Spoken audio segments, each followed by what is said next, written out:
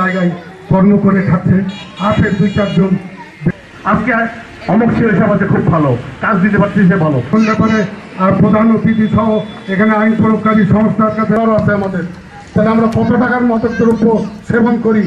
তাহলে এক টাকা চালানাই পাতাম কিন্তু আমরা এখন চারা না যারা মাদক ব্যবসা করছে তারাই কিন্তু শেষ হয়ে। করছেন আর একজনের সুযোগ পাচ্ছে তার যখন ধরা পড়ছে যেমন ওই ফল পাবো না যারাই করবেন আল্লাহর গজব পড়বে। আপনারা আওয়ামী লীগের সাংগঠনিক সম্পাদক জানাব সরাব। তার কিছুদিন পরে আমাদের যে বাহিনীতে লোক নেবে সেই রকম আপনাকে করতে করতে হচ্ছে আপনার এটা পুরোপুরিভাবে নিষিদ্ধ। আবার ধর্মীয়ভাবেও পুরোপুরিভাবে ভারত অলরেডি আমাদের মাঝে যুদ্ধ না কিছুই বোঝেন না কিছুই দেখেন না। আপনি অবচেতন কিছু জানেন? থানা কোন র্যাব কোন বিজিবি কোন? মাদক দ্রব্য সেবন করি তাহলে আমাদের এই টাকাগুলি যদি থাকতো আজকে চুরাশি টাকা